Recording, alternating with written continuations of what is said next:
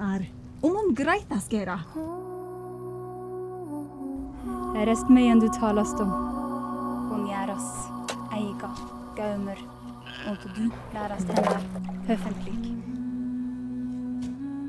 Med en sånn rubin kan en mann leve godt livet ut. Hvis en bruker den på rette måten. Hva ville du brukt den til? Og hva godt skulle jeg gjort med en liten sten? Og så lenge kroppen bærer, så legger vi igjen spor overalt hvor vi går. Ragnhild og Bård skal ha stort gjestebud. Om to dager så kommer Solve på visitt.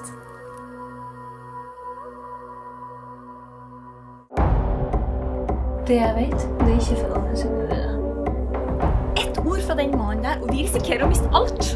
Akkurat sånn som du sa. Han har en irriterende tendens til å vite alt som foregår i landsbyen.